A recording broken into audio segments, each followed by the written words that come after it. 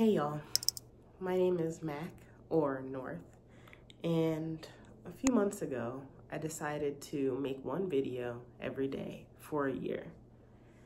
I figured I would show you my hobbies, my music, my personality, you know, what I'm interested in, and I would post it to YouTube and I'd post it to TikTok and go out of my comfort zone.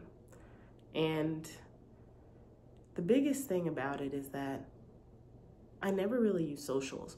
Even as a nearly full-time artist, I was averse to socials. and never was a socials person. I thought negatively of social media. Um, I stayed out of that light. I posted about some songs. I posted every once in a while, but I really hated it. And coming on to day like 108 of this challenge, I realized that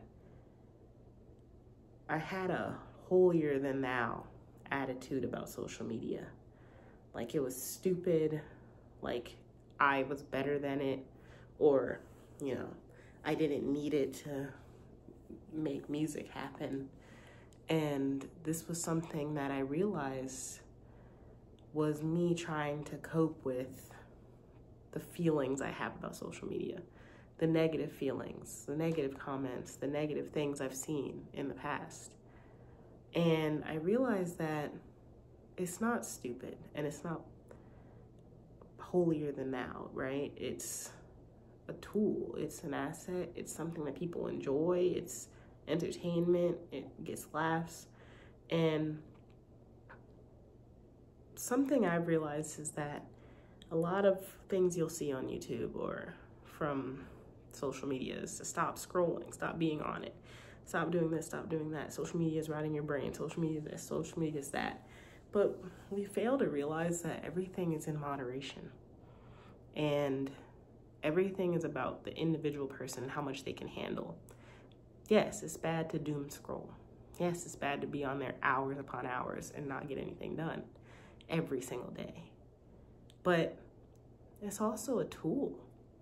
It's something that helps artists find their audience, something that helps people find their audience. It's something that helps people relate, helps people find friends, being online. It has so many positives. And I think I had such a negative mindset about it because I grew up with a kind of mindset that analog is best or this is best and writing notes and not dealing with social media and all this stuff. But in reality, doing this challenge has really positively changed my life. As someone with ADHD, as someone who's a musician, as someone who's creative, the biggest struggle is being consistent. I work in bursts, I do things in bursts, I'm quick with things, but I also burn out and I move hobbies quickly. And doing YouTube and doing TikTok every day has been an absolute blast because it helps me come out of my comfort zone. It helps me think of ideas. It helps me be creative. It helps me learn and meet new people and meet other musicians in a place where there's not that many, at least where I'm at. And so I realized that social media can be good. It's not always good. There's a lot of negatives, but especially for an artist and a creative like me, I realized that I actually have an absolute blast figuring this out. And I say that because if you're one of those people who's really adverse to it or don't like it or whatever, it's understandable. Everyone is different. Some people don't like it, some people don't use it, some people do. It's all about what you need and your moderation and what benefits you.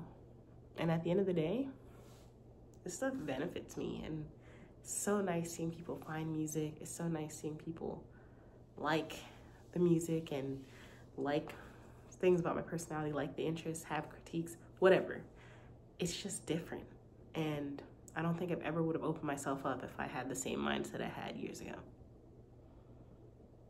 So I hope you stick around for the rest of the 200 and so and so days because I'm doing this for a full year to stay consistent, figure out who I am more online and offline, and build an audience that can relate to anything I'm talking about.